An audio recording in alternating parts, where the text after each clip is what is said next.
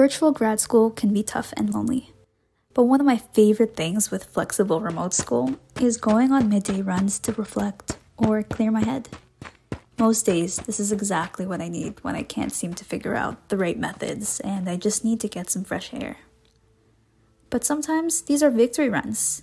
It can feel pretty exceptional, like when I finished writing the perfect paragraph, when I found out I did really well on my last lap, or when I found out I won an award, or any other kind of sign that reminds me that I'm doing just fine.